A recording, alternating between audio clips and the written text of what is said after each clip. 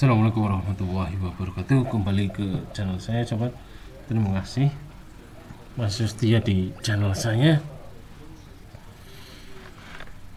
Kali ini eh, Ada gambaran sedikit eh, Karena ada yang tanya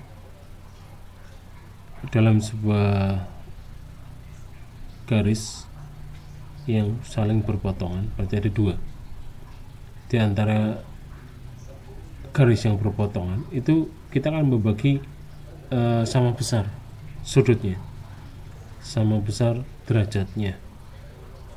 Kita itu menggunakan apa? Di tool Gigoba. Oke sobat. Hmm, kita membuat uh, misalkan buat sudut ya. Pertama kita membuat sudut dengan dua dua segmen ya kita membuat dua sudut dengan dua segmen. Kita membuat satu segmen dulu AB kemudian ya eh, buat segmen kedua. Ya. jadi di sini ada dua segmen antara segmen AB dan segmen AC segmen AB dan segmen AC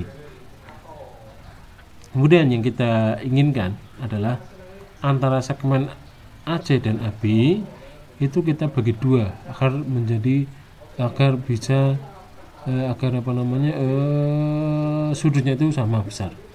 Kita coba untuk apa namanya melihat berapa sudutnya ini 51,19 ya berarti sekira 225 25 lebih lah.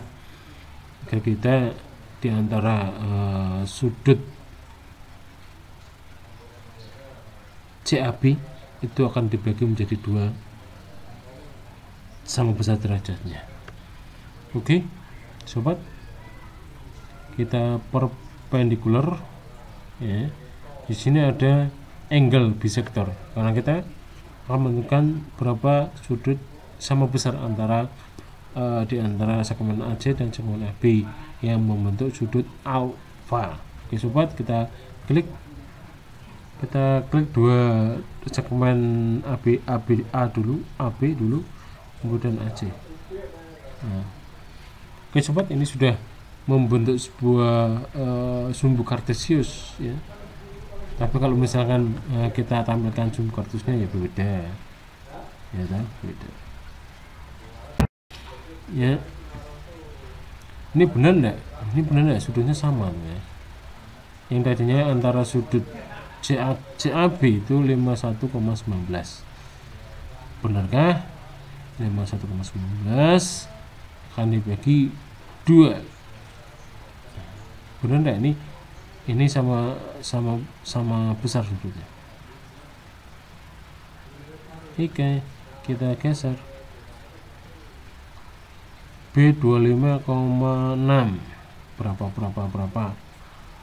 Ya ini ini 51,19 ya diibaratkan 51,2 oke 25,6 kali 2 50 ditambah 1,2 51,2 oke sobat seperti itu untuk menentukan sebuah sudutnya akan dibagi dua sama sama besar ya. Oke sobat terima kasih. Waktunya terima kasih atas uh, kesediaan mampir di channel saya. Wassalamualaikum warahmatullahi wabarakatuh